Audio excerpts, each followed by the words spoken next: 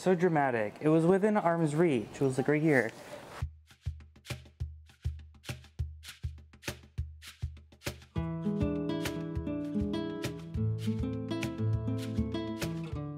Hey everyone, welcome back to our channel. My name is Kevin. And I'm Nathan, and today we're in Toledo, Spain. Yes, I've been wanting to come here for a long time now, so let's go and check it out. Just like we did to get to Granada, we took a high-speed train from Madrid to get here. There is a lot of history here, and there is a good reason for that. The city is believed to have been settled in the 5th century before Christ. We started today off with one of Nathan's many trails, but today I'm so happy that we took that because we got this view.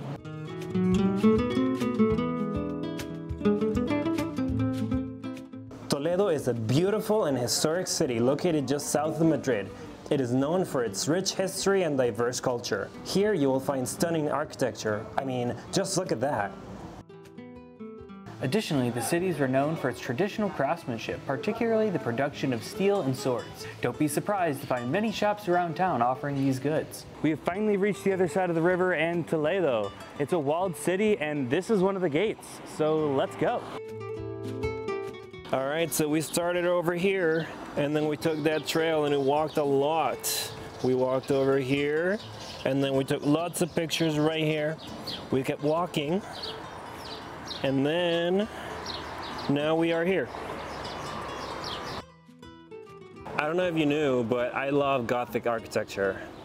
You might notice the chains on the facade of this monastery. The ones belong to Christian prisoners liberated from Muslim Granada.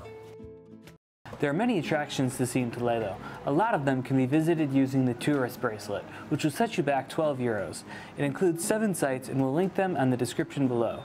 Otherwise, most sites will cost you 4 euros each. We got ourselves a tourist bracelet, so we're going to try to visit all seven sites that this allows you to go in.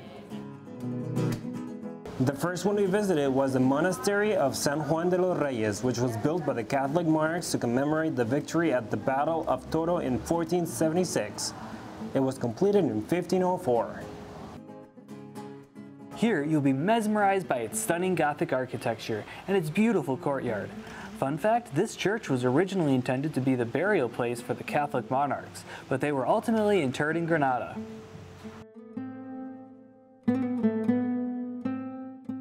While in Spain, keep an eye out for signs that say peligro. It's a warning that there's danger around, such as low ceilings or falling debris.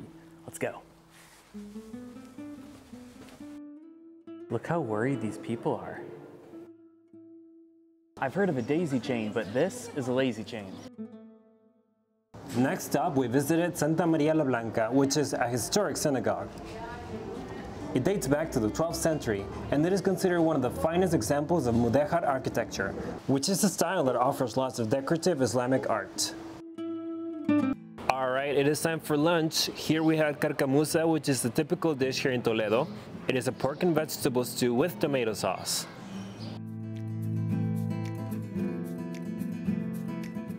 This painting is known as The Burial of the Count of Orgaz by renowned painter El Greco. You can find it at the Santo Tome Church. This masterpiece shows both the earthly and heavenly realms, and it captures the mystical and spiritual elements of that event. Dost thou want a sword of Damascus steel? Mm, no, I think I have enough at home. Our next stop is not included with our tourist bracelets, but it is something to check out if you're into art.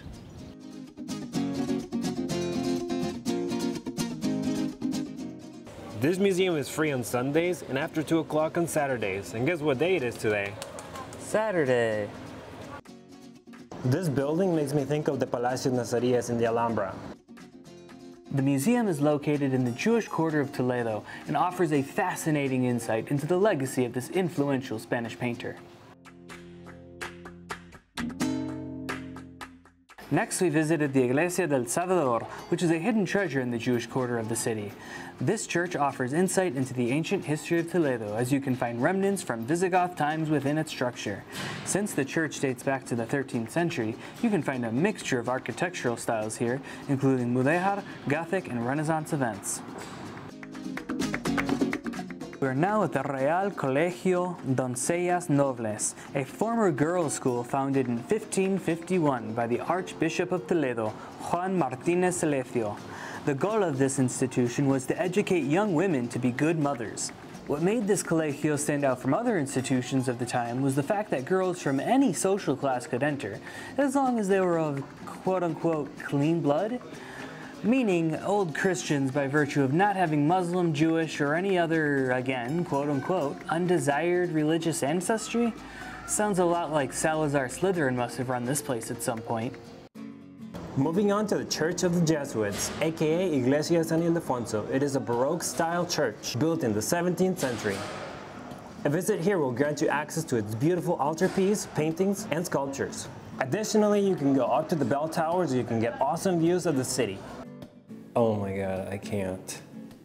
Not for the faint of heart. Okay, it wasn't that bad. Whew.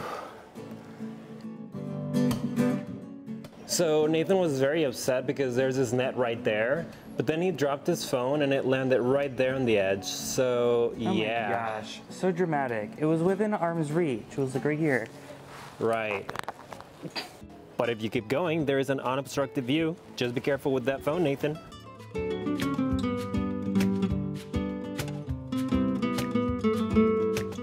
Let's go down. There's a Pidgey right there. Okay, we're moving on to the last destination included with the tourist bracelet. This is the Mosque of Cristo de la Luz, a Catholic chapel and a former mosque here in the city. It is located in an area of the city that used to be known as Medina, where many wealthy Muslims used to live. It might not look like much to some, but it is more than a thousand years old.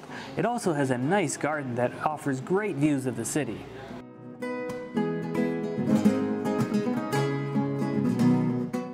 That's the gate we entered through this morning.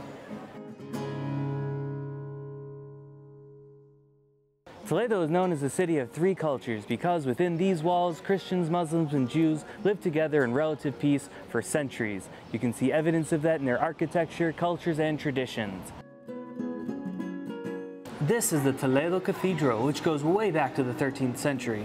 It is Gothic in style and is considered as one of the best examples of their style in Spain. But the feast for your eyes doesn't end there. It also features famous artwork inside. Unfortunately, you guessed it, they had a wedding here.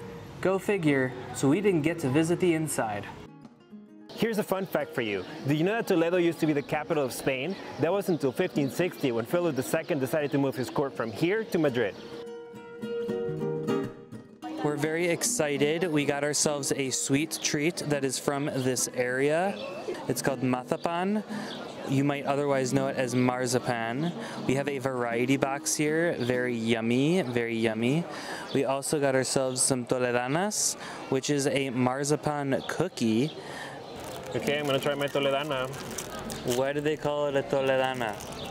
uh, because it's from Toledo. mm. It's really sweet. It was really good. It reminds me of an hojarasca from Mexico, or at least from Monterrey. Mm, Pretty good. Overall, this is a beautiful city with lots of history. You can come here and see its wonderful architecture, enjoy its delicious food, and visit its historic sites. And it is definitely worth a day trip from Madrid if you're visiting. Let us know in the comments below if you'd like to visit Toledo. Hey all you wanderers out there, thanks for watching our channel. Don't forget to like and subscribe to find out where Rebecca bound to next. And remember, Holy Toledo!